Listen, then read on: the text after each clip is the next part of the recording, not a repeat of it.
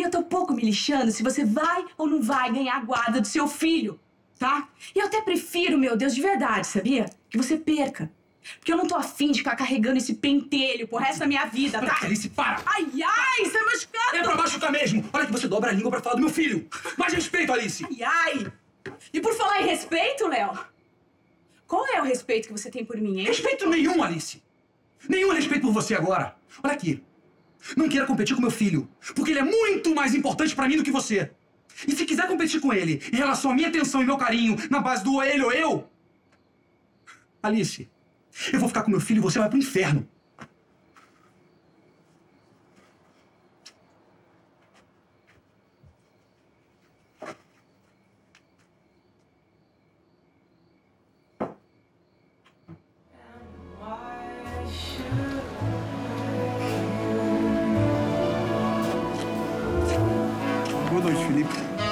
Noite, Fozão.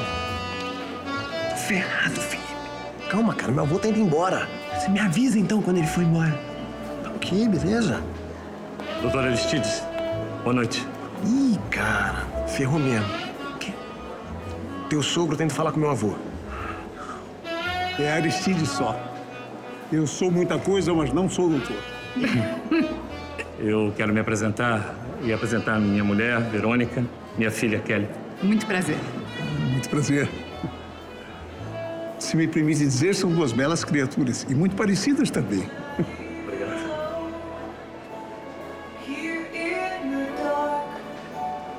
Eu sou Eliseu Matos.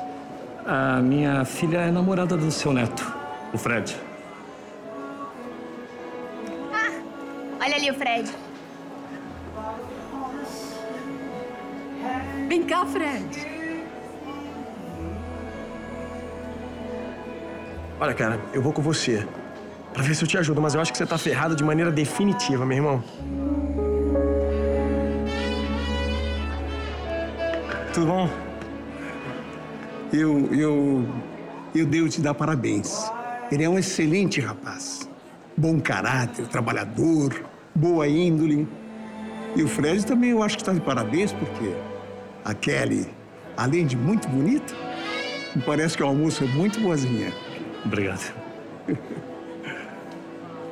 Mas o Fred, por mais que isso fosse meu agrado, ele não é meu neto. Ele é filho de um dos mais antigos e mais fiéis servidores de minha família. Pessoa que, aliás, como outros que trabalham em minha casa, são dignas de todo respeito e consideração.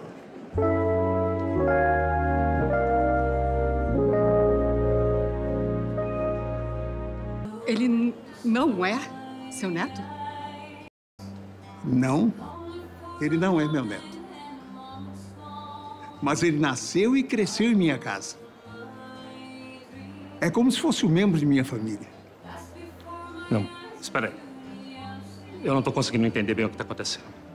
Quem é que vai me explicar? Por acaso eu disse alguma coisa difícil de entender? Esse rapaz disse que era seu neto. Eu nunca disse isso, seu Eliseu. Foi uma confusão. Fred. Não, mas espera aí. Que palhaçada é essa? Agora quem não está entendendo nada sou eu. Me deixa explicar. Eu nunca disse que era neto do senhor, seu Tid. Mas eles Calma pensam- aí, moleque. Calma, você também, Eliseu. O senhor quer, por favor, me explicar o que está acontecendo? Ô, ô, vó, eu posso dar uma palavrinha com você agora, rapidinho? E esse aí? Quem é? Pai. Quem tem que explicar sou eu. Não, não, brother. Deixa comigo aqui. Mas Será que isso tem alguma explicação?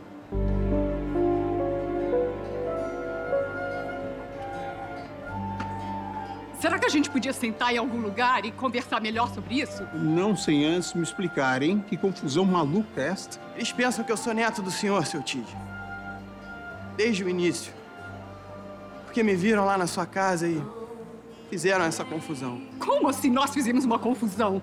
Você A deixou culpa que é a gente... minha, eu sei disso. Eu não consegui desfazer esse equívoco. Você é um impostor. Isso aqui é uma fraude, falsidade ideológica, o escambau. Pai, pelo amor de Deus. Para de choramingar, pô. O senhor quer, por favor, baixar o tom de voz e escolher melhor o seu vocabulário? É, não engrossa aqui não, hein, cara? Calma, Felipe. O senhor não fala assim com meu pai. Papai, vamos embora, vamos. Não, não, agora eu quero ver o final dessa coisa toda. Eu quero ver no que isso vai dar. Não, isso aqui não é nada demais, não. Isso aqui foi só um mal entendido. Vamos, vamos deixar isso pra lá.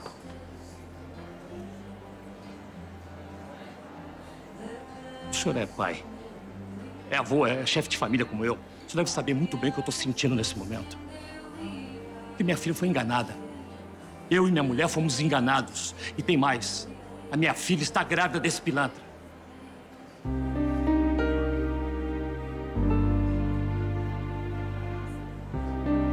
Eliseu, me ajuda aqui.